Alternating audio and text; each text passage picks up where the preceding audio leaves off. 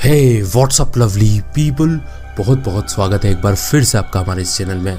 आज हम आपके लिए कुछ ऐसे वीडियोस लेकर आए हैं, जहाँ पर लोग साहस से डर का सामना कर रहे हैं।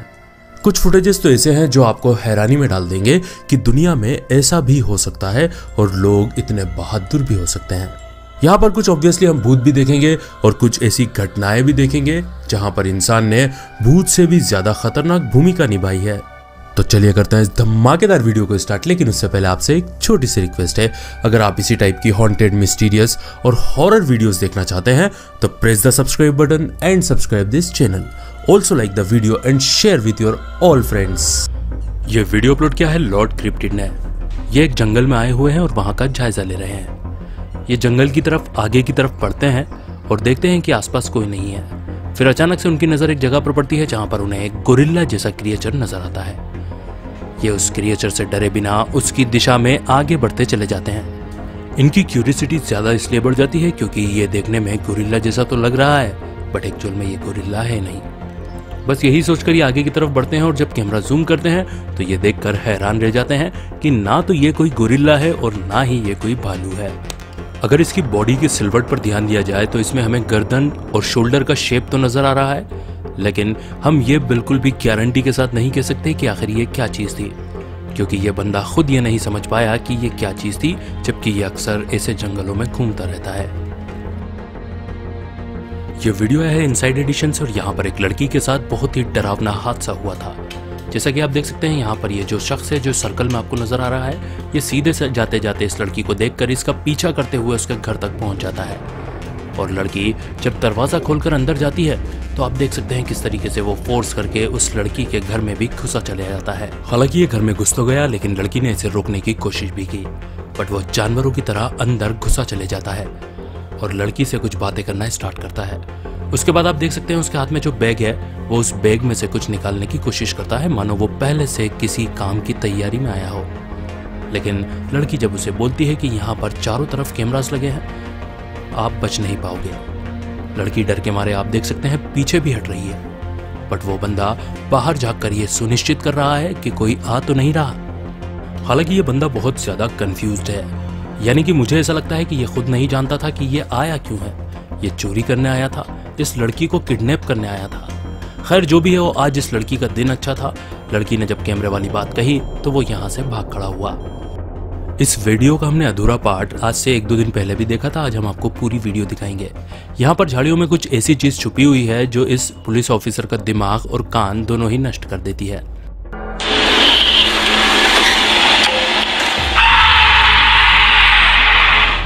हमने देखा किस तरीके से झाड़ियों में से आवाज़ आती है, ये पुलिस वाला बुरी तरीके से डर जाता है और फिर बैकअप के लिए अपने साथियों को कॉल करता है।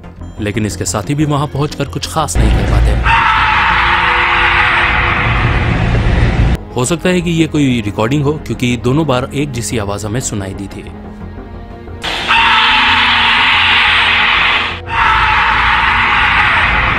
हो सकता है कि कोई मनचला व्यक्ति इन पुलिस वालों के ऊपर प्रैंक कर रहा हो, लेकिन ऐसा संभव नहीं लगता क्योंकि पुलिस वालों के ऊपर कोई भला क्यों प्रैंक करना चाहेगा। बात तब की है जब एशले नाम की एक लड़की अपने घर में अकेली थी। रात का टाइम था, और एक रात जब उसने अपना सीसीटीवी कैमरा चेक किया तो उसे ये फुटेज नज़र आई। यहाँ पर आप देख सकते हैं उसके घर के बाहर स्पेशली उसके बेडरूम की विंडो के बाहर एक आदमी खड़ा हुआ है और वो वहाँ से खिड़की में अंदर की तरफ़ झाँक रहा है। अब सवाल यहाँ पर यह उठता है कि एक बंदा किसी भी लड़की के घर में आधी रात को क्यों झाँक रहा था? एशली इससे काफ़ी ज़्यादा परेशान हुई। जब उन्होंने ये फुटेज देखा तो उन्होंने इसकी कंप्लेंट पुलिस को भी की, क्योंकि ये सवाल उनकी प्राइवेसी से रिलेटेड था। हालाँकि उस बंदे ने उन्हें किसी भी तरीके से ना तो तंग किया, ना ही परेशान किया। बट हो सकता है कि आगे चलकर उसकी कुछ और प्लानिंग हो जो उसके दिमाग में चल रही हो। ये देखने के बाद मुझे एशली की सेफ्टी के ऊपर कंसर्न है। आपको क्या लगता है, ये बंदा क्या चाहता था? कमेंट करके बता सकते हैं। ये वीडियो अपलोड किया है एन एवरीडे कैनेडियन ने। ये एक घोस्ट हंटर है, यानी कि भूत प्रेतों को पकड़ने का काम करते हैं, उनसे बातें करने की कोशिश करते हैं। आज ये अपने एक दोस्त के साथ में एक कब्रिस्तान में आए हुए हैं। जहाँ पर ये गुजर रहे थे तभी उनकी नज़र एक खबर के ऊपर पड़ती है ये बिना कोई मज़ाक किए हुए उसकी तख्ती पढ़ते हैं that's nice. 1923. Wow? Yeah. तभी उनकी फ्रेंड कबर से गिरे हुए फूलों को वापस रखती है Oh, this person lost their flowers. Let's put it back in there for them. कब्र के ऊपर फूल रखने के बाद वो आगे बढ़ने की कोशिश करते हैं। तभी कब्र के पास में जो सोलर लाइट लगी है उनका ध्यान पड़ता है कि वो अचानक से बंद होती है और फिर चालू हो जाती है। आपको बताना चाहूँगा कि ये सोलर लाइट है और सोलर लाइट फ्लिकर नहीं करती। इस कब्रिस्तान में ज़्यादातर कब्रों के पास में इस टाइप की लाइट्स लगी हुई हैं जो रात में चालू हैं। कोई भी लाइट इस तरीके से बंद नहीं हो रही थी। Anywhere it's lit up, they have like solar lights. और ये लोग हैरान इसलिए थे क्योंकि उसी कब्र की light switch on and switch off हुई थी, जिसके फूल इन्होंने उठाकर रखे थे। तो क्या वो बंदा इनको थैंक यू बोल रहा था? आपको क्या लगता है? कमेंट करके बता दीजिए। ये वीडियो आया है लॉस वेगास से। रात के चार बजे हैं। ये लड़की एक ऐसे आदमी के घर के बाहर खड़ी है, जिसको ये नहीं जानती। और आप देखेंगे तो पीछे दो आदमी और खड़े हुए दिख रहे हैं, शायद वो इसके साथी हैं। ये लड़की वहाँ पहुँचती है और उनसे कुछ बातचीत करती है। हालाँकि साफ़ तो समझ नहीं आता, लेकिन फिर भी सुनते हैं। No one coming on there fighting. Cool. So it says, No suicide. girl, bring that door. I'll need some bricks. थोड़ी देर बाद ये घर की घंटी बजाती है और जब घंटी बजाती है तो इसको एक झटका लगता है उसके बाद अंदर से जो बातचीत होती है वो जरा ध्यान से सुनिए Who are you looking for?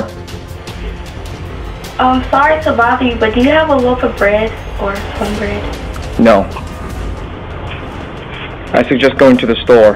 अंदर से आवाज़ आती है कि तुम क्या चाहती हो। लड़की जवाब देती है कि मुझे एक ब्रेड का पैकेट चाहिए अगर तुम्हारे पास हो तो। तो वो बोलता है कि मेरे पास तो नहीं है, तुम्हें किसी स्टोर की तरफ़ जाना चाहिए। अब सवाल ये उठता है कि भला रात के चार बजे कोई लड़की किसी अनजान आदमी के घर में इस तरीके से कैसे ब्रेड का पैकेट मांगने जा सकती है? और वो जो दो लोग पीछे खड़े थे, वो कौन थे? मुझे यहाँ पर इस बात का शक नज़र आता है कि इन्होंने पहले तो सोचा कि घर खाली है, लेकिन जब अंदर इन्हें लगा कि कोई है तो ये लोग यहाँ से भाग खड़े हुए यहाँ पर हम सुनने वाले हैं समंदर की गहराइयों से कुछ ऐसी आवाज़ें आई, जिसका जवाब किसी भी साइंटिस्ट के पास नहीं था कि एग्जैक्ट ये किसकी आवाज़ है। ये साउंड पहले तो लो पिच नज़र आता है, उसके बाद में इसकी पिच हाई हो जाती है और ऐसा लगता है जैसे कोई राक्षस बोल रहा हो।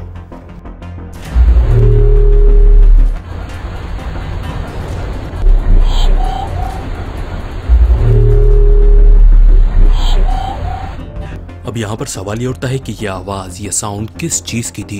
क्या ये कोई वेल थी या फिर कोई ऐसा जानवर जिनके बारे में साइंटिस्ट को कोई जानकारी नहीं है?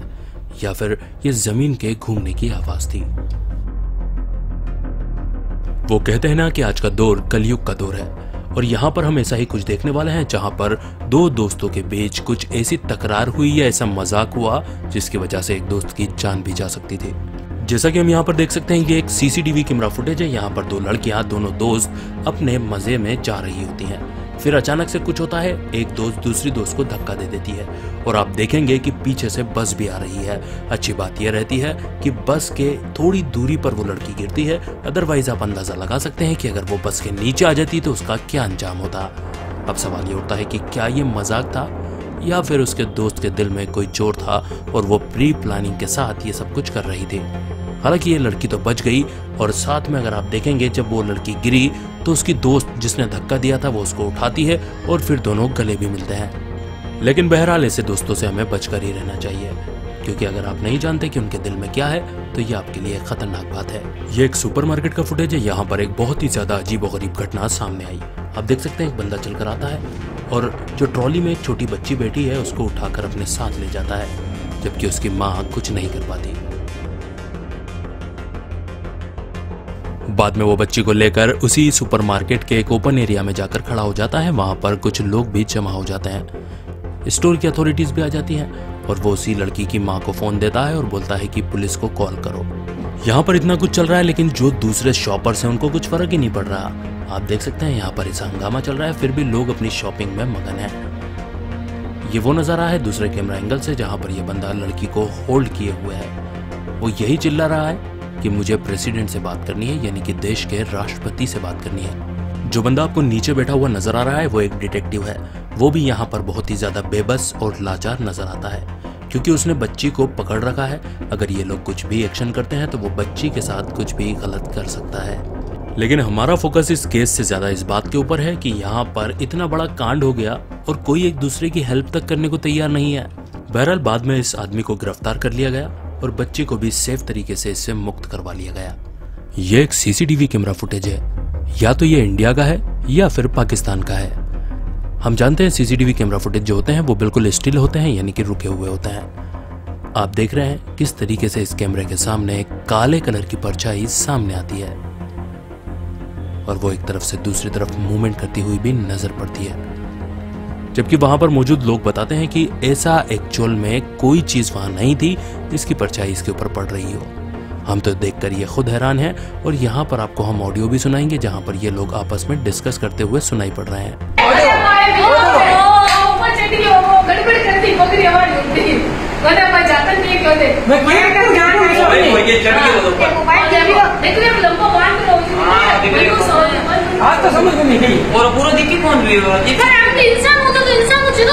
तो इसी के साथ आज का हमारा वीडियो यहीं खत्म होता है, जहाँ पर हमने देखी कुछ डरावनी फुटेजेस कुछ अजीब और गरीब घटनाएँ, और भी ऐसी चीज़ें जिनसे शायद आप खुश हुए होंगे, आपको पसंद आई होंगी।